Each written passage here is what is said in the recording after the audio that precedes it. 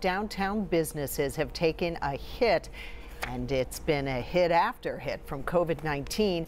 And the latest figures show there's just no end in sight. New at 5, Channel 11's Jillian Hartman spoke to business owners and tourism officials about how they're trying to stay afloat.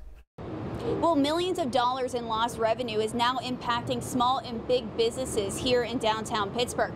We're outside the Omni William Penn, a popular hotel that closed back in March due to the pandemic, and it's still shut down today.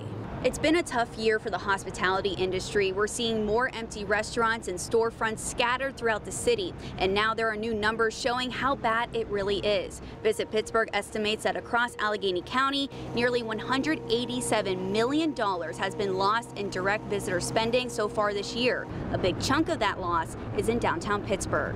The loss has been tremendous for Allegheny County and Pittsburgh. That could include restaurants, that definitely includes hotels, uh, small businesses, uh, transportation companies, catering companies.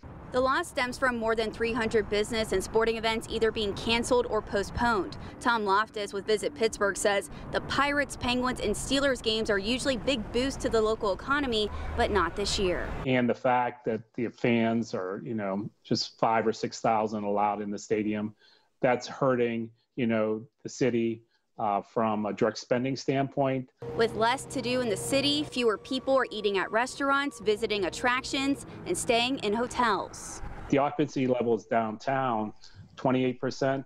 That's a big, big drop, what it sh should normally be into the 70%. Hotels have taken a huge hit, but they're fighting to bounce back. The Westin on Penn Avenue just reopened last week. The Distrikt Hotel reopened last month. Loftus says he's confident better times are ahead with the pent-up demand. Visit Pittsburgh is working hard to drive more people downtown this holiday season and throughout the winter. One of the advantages we have, even through a pandemic, is that there's a lot of only in Pittsburgh attractions. Our museums, our eight national aviary, um, our restaurants that are you know open and um, full service for business, our inclines. There's so many things that we market on a regular basis. Now the William Penn plans to reopen in January. Visit Pittsburgh tells me they're hoping businesses rebound in the new year, but a lot of that depends on what's going on in the country and if a vaccine becomes available. Reporting in downtown Pittsburgh, I'm Jillian Hartman, Channel 11 News.